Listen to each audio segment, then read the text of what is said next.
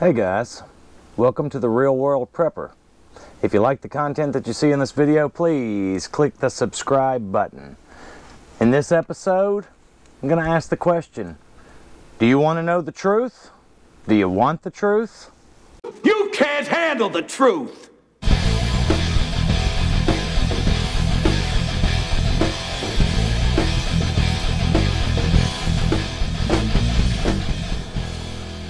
All right, guys, thanks for joining today.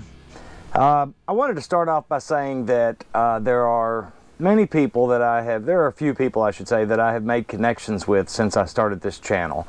Uh, other prepper channels and just some of the people who have subscribed and comment. Uh, I've learned a lot from you guys. Uh, hopefully you guys are learning some things too, and hopefully we're building a community and we're building uh, a mindset, a better mindset of prepping and preparedness and why we should be doing it, okay?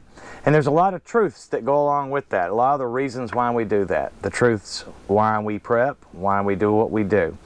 Um, I was recently quit by one of these people that had been uh, very encouraging, that was a subscriber, uh, that I was also subscribed to. Now, I've been quit by a few people along the way. You know, I mean, if you're in this YouTube game, you realize, you know, you'll gain some subscribers and you'll lose a few and da da da da. Big deal, okay? It's just how it goes. but the reason why this guy quit me is because he didn't want to hear the truth. This particular one I'm speaking of, he didn't want to hear the truth. Um, you know, my channel started off sort of benign enough, I guess, uh, in that I started off with just some prepping essentials and showing some little things and some gear and stuff. But as stated in my About section, we're going to talk about lots of different topics, okay? Because they all pertain to prepping. They all pertain to the reasons why we would want to prep and why we need to keep our eyes open, keep focused on what we're doing, okay? So it's not all, as you've heard me say, it's not all just about putting up some food and water, right? It is so much more, okay? So this one that quit me, quit me because uh, to him, God is not real, so I shouldn't interject God into my videos. Uh, you know, these, what he deems to be far-flung scenarios, uh, like our government, you know, might be conspiring against us in some ways, or certainly not in our best interest in a lot of ways. That can't be true. You know, he strictly, uh, he, he proclaims to not be a Christian. He doesn't need a God. He says he doesn't need a God, doesn't believe in a God. That's all hogwash. All that is is uh, causing wars and things like that. And he also uh, thinks that the only thing he's going to have to worry about is uh, storms and natural events and things like that. Well, the truth of the matter is, and I've got just a list of truths, all right? He doesn't want to hear, and many people don't want to hear, the truth that the shit is going to hit the fan one day. He doesn't want to hear the truth that life as we know it will end or change fundamentally one day. Uh, people don't want to know the truth that our government is not on our side. They do not have our best interests at hand. People don't want to know the truth that the right wing and the left wing are of the same bird. People don't want to know the truth that a select few elite control everything. Money, laws, politicians, uh, UN, leaders in all influential countries, Western and otherwise. Our food, our water, our weather, our health care, our medicine. And they don't care about you or me. Okay? People don't want to believe or accept the truth that God is real. Okay? They don't want to believe that our economy will fail, that it's propped up on nothing. Uh, it's not a question of when it does, it's a question, uh, or rather, it's not a question of if it does, it's a question of when it does.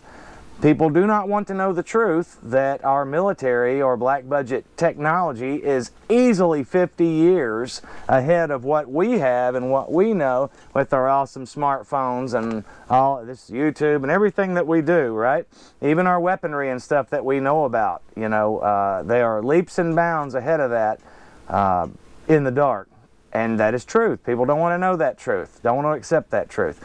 They don't want to know the truth that our water's being poisoned, that our food is being genetically modified in ways that are not to benefit us, as consumers of that food, but to benefit the bottom line, the dollars, the pocket, and I believe even more so to benefit the depopulation agenda that, that is going on. Think Agenda 21, Rex 84, so on and so forth. Um, they don't want to believe that our money is worthless. They don't want to believe that our leaders are openly socialist, communist, elitists. People don't want to know the truth that our own government sprays the skies with poisons and, and heavy metals to control the weather and to control us, to control our moods and what we think and how we think, to dumb us down. They don't want to believe that. Uh, they don't want to believe that the California wildfires are deliberate, are man made. They don't want to believe that the California drought is deliberate and man made. They don't want to believe that a lot of these weather events and anomalies that happen all over the world Many of them are man made and done deliberately. They don't want to know that truth. They don't want to hear that truth. They don't want to hear the truth that our public education is actually indoctrination to make good workers who don't ask questions, who don't think critically. They don't want us thinking critically or thinking for ourselves. They don't want you looking at stuff like this and thinking outside of the box the three boxes, main three boxes that they sell on, you know, national news and TV. They don't, they don't want you knowing those truths, okay? Uh, what they do want is for us to be bickering, to be divided, to be on psychotropic drugs, to be drinking as much alcohol as we can and consuming illegal drugs and watching sports and other mindless entertainment, to be distracted and dumbed down and nulled uh, null and void and and not thinking. To just drink the Kool-Aid, accept what they say is truth. That's the truth they want you to have, and that is a big fat lie. It is time to wake up to the truth, guys. If you can handle it, if you can handle the truth, wake up to the truth. So, as the real world prepper, I want to say prepare now because your time is running out. That is all I got today. Thanks for watching. Real World Prepper. We'll catch you next time.